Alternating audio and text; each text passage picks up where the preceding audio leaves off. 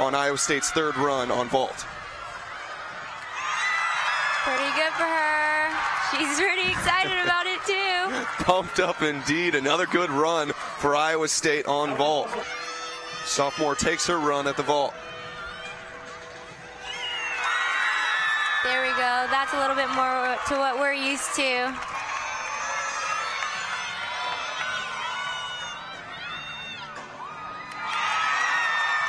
Big vault from her. Difficult vault routine. Hoping she can get this landing today. Yep, she nails it. Things going well for the Cyclones to start on vault.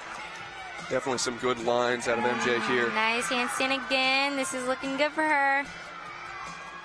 Just the dismount, full out, and a stuck landing from MJ. That is so great for her. I know her teammates will be so happy. Looking forward to the dismount.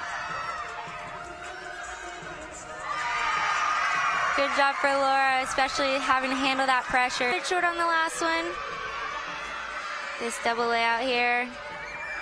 Another stuck landing. She's always in the zone in Hilton Coliseum. Does a front full dismount. She's pretty good at sticking this landing, so let's see if she can do it here. And she does. Does exactly that. Another stick out of Kelsey Paz. Okay. Let's see if she can get the same landing as Kelsey Paz. Just about with one hop in there. Megan, pleased with that run. Came, really came through for the Cyclones last week. Another nice series from her.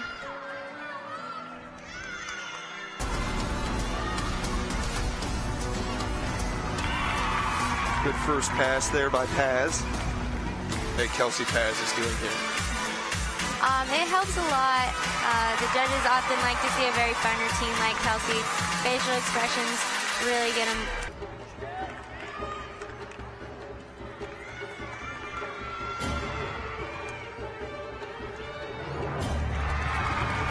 Nice opening pass from Dez. Talk about uh, the fun routines, but Dez's routine is a little bit more serious Yeah, choice of sure. physics.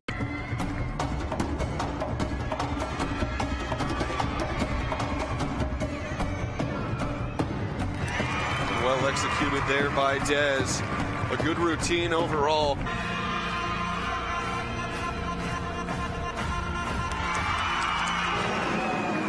She does. she may have herself a career high here. Does it very well, just on the line there, but a fantastic way to finish things off for Iowa State on the floor.